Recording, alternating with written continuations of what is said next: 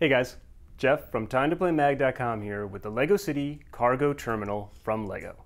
This is a large 658 piece set that builds a cargo plane, control tower, conveyor belt vehicle, refueling truck, and a forklift. There's also five minifigures, a pilot, controller, and three workers. The largest item is the cargo plane and it has lots of fun features that kids will love playing with.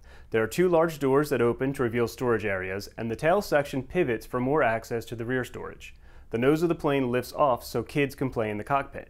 Kids can use the forklift to raise heavy crates into the plane or the working conveyor belt for smaller items. They can then fuel it up for takeoff with the refueling truck's hose. The tower has a rotating radar dish and a swiveling chair inside that reveals this sassy controller. LEGO even packed some surprises into the crates, with two of the crates containing all of the parts for kids to make another vehicle. This set is for LEGO fans ages 6 and up. The directions are excellent and it should take most people under two hours to complete.